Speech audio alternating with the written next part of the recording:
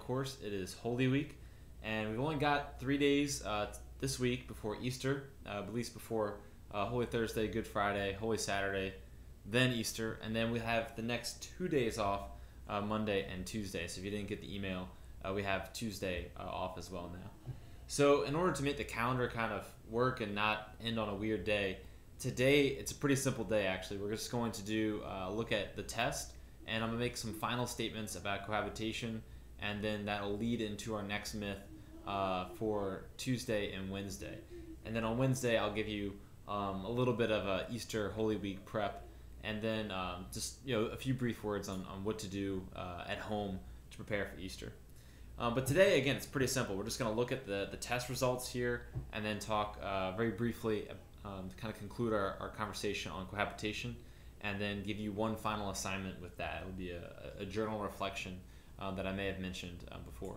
So, uh, one other thing that I'm remembering right now tonight, if you want to go watch the Saints play the Falcons in the first game back uh, to the Superdome, I think it's going to be on ESPN. And pretty cool, Mike Tirico, who was calling that game uh, was at morning assembly at Jesuit uh, that um, that Monday. So he gave a, an address at Monday morning's assembly, and um, it was a pretty big deal. I guess you know for us it was just after Katrina, so it's kind of interesting that you know for our city we had just come back, um, and right now it's kind of a weird moment too, uh, and you know just some encouragement that our city you know will, will come back as well again. Okay. So uh, the test for the most part uh, pretty good. The average so far is about a 90. 91, um, which is really good. There's a few that we're just going to go through here real quick to, to say, okay, why did people miss some of these? Um, the first parts I'm not really worried about. The the discernment of spirits, most of you guys did really well on that. Um, this one is a tough one. Uh, this one came from that reading that I'm sure everyone read, uh, which is the idea that Pope Benedict was saying that even in the uh, the face of doubt, um, no one can be completely secure in their faith. And this is the whole point of that that first part of the, the class we did is that whether you're discerning vocation to marriage, whether you're discerning vocation to the priestly life, whether you're asking the big ultimate questions, does God exist? Does he have a plan for me? The goal isn't necessarily certainty, right?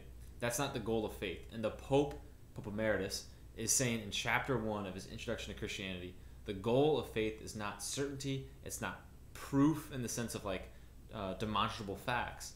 The goal of faith is to see the world in a different way, to access this new reality or this higher reality through faith that lets you see the bigger picture for what it really is.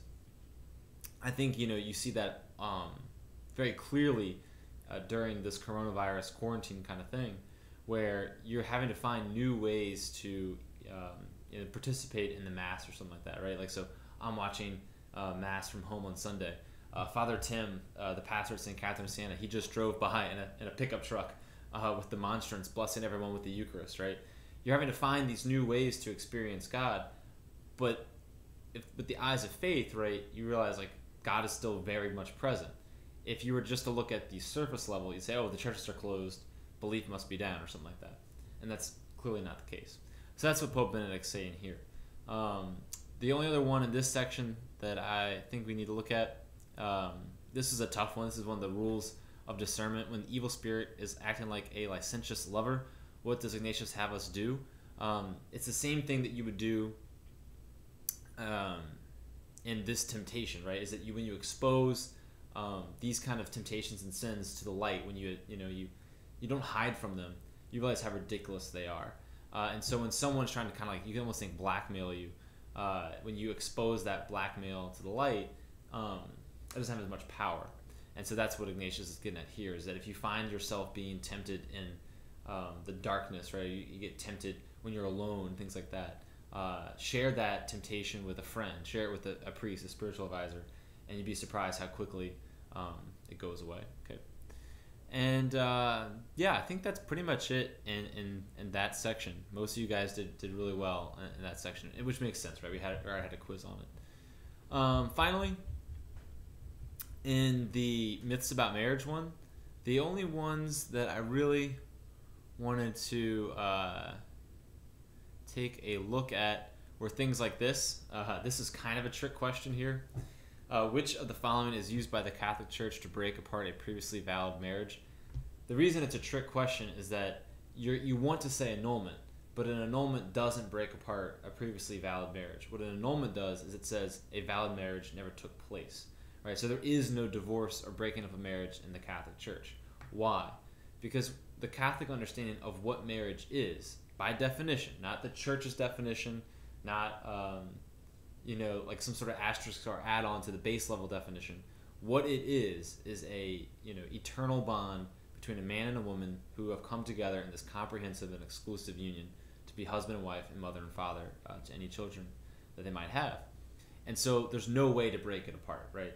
And that's the idea, right? Is that um, it's not, I mean, it is a trick question, but the reason I ask it like this is to make sure you know or know that an annulment is not the same thing as a Catholic divorce. There is no such thing as a Catholic divorce, right? Now, that doesn't mean that there's not many Catholics who are divorced. That doesn't mean that there's not many Catholics um, who sometimes divorce civilly, right? Again, in the government's eyes, is actually a good thing, right? To think about, uh, you know, a, a, family where maybe the father's abusive or is an alcoholic, right? It would be better for, you know, for the health and safety of the children that maybe that that civil union is broken up, but that doesn't necessarily mean that that covenant union is, and that's a tough pill to swallow. I think for a lot of modern people, we're like, well, that doesn't seem fair and it's important to remember that your vocation isn't always going to be fair. Uh, Holy Week is coming up. Christ dying on the cross is not really fair, right? It's not really fair, but it's exactly what God is calling him to. And through that sacrifice, the entire world is redeemed. Uh, the example I gave to you guys was uh, Graham Greene, whose uh, wife remained steadfast to him, even though he had many, many, many, many affairs, right? like, well, that doesn't seem fair. Like, w- why doesn't she just break up the marriage, right? It's, what is she getting out of it? Well, in the end, it's it's her holiness that draws him back um, to honoring their marriage vows, right? It's it's her holiness, it's her prayers that save his life. Um, so you know, you never know uh, how God is working through uh, different people's lives to, to bring about uh, His plan. So that's that's part of it too. Okay, just want to make sure you know that though about annulment and divorce. All right, um, only a few more here, and then we'll get to the essays. Let's see. Most of those are pretty good. That was kind of a trick one. Check all that apply. Um, I did pretty good there. Let's see. Okay. Which of the following statements best summarizes the relationship between happiness and marriage? This is the same one that we're going to talk about the short answers that most people got points off for. So maybe we'll just combine it and make the video shorter. The idea is this, right? The whole reason we looked at preconception and common mentality, materialistic prejudice, is for you to say in all things, before I assume that I know the answer, before I assume that I know the way forward, let me reconsider it. Let me consider it in light of what do I already think about it, in terms of actually thinking through these things, and then why do I think them. Most people don't consider what they take to be the goal of life. Or you could say, like, most people don't consider what kind of happiness they're actually trying to pursue in life. Some people really really like to pursue um, competitive happiness right? Uh, level two. This idea that i've worked hard for something i've achieved it i feel good about that. A lot of people like to pursue uh, happiness level one right? It's really easy to get. Uh, you, you enjoy a really good burger you enjoy a really good uh, pizza something like that but it's important to understand what you actually think happiness is before you get married. Because if you don't have the right definition of happiness then even in your marriage you might find that you're quite unhappy. Uh, in the sense that you either have the wrong version of happiness, which means that you maybe discern the wrong type of marriage, right? Contract marriage, or you have um, the wrong view of happiness, and you have a great marriage, but because your view of happiness is distorted, you, you're not even aware of how great your marriage really is, right? And that happens a lot of times with that midlife crisis uh, scenario, right? You're pursuing the long, uh, the, the wrong type of happiness, even though your family life is great, but it twists the way that you see the world, right? So it's important to know why you think what you think about in terms of happiness as well as in terms of marriage before you go pursue either, right? Um, so that's why this answer uh, was the better one. Okay, and you can see most, the, you know, still the most picked answer, but that it was one of the more missed questions. Okay, and I think, oh yeah, here's another one. Um, this one, uh, I don't know why we missed so many on this one, uh, but yeah, anytime you see the word desire, it's almost always going to be eros, right? Now, eros is not bad, it just it's not the only love, right? There's still agape, philia, right? Telos just means end goal or purpose. That it's not a love. Okay. Um, but I think that might be it. Yeah, yeah, same thing. This is the same question. So uh, if you got both of these, uh, I feel sorry uh, because you know I don't know how the computer picks them, but it's basically the same question. What, what's the best definition for eros? You see that word desire there. Um, that's what you're going to be looking for, and then we're going to add in there that comprehensive unity. That's a word for word from the notes, though. Um, I think that's it. Yeah. So then here are our essays. We already talked about the first one, so to make this video a little bit shorter, let's just move on to the second. So most of you guys got full credit for this one. Again, most most people got somewhere in the top uh, percent there of like seven to ten points, but uh, there's this one was more missed, right? Most of you guys got this one right. What I wanted you though wanted you to make sure that you knew um, was that uh, not just that the prenuptial agreement falls into the contract view of marriage, right? Um, and if you said that, you usually got like an eight and a half, nine out of ten, but that it's categorically opposed to the very good things of the covenant marriage.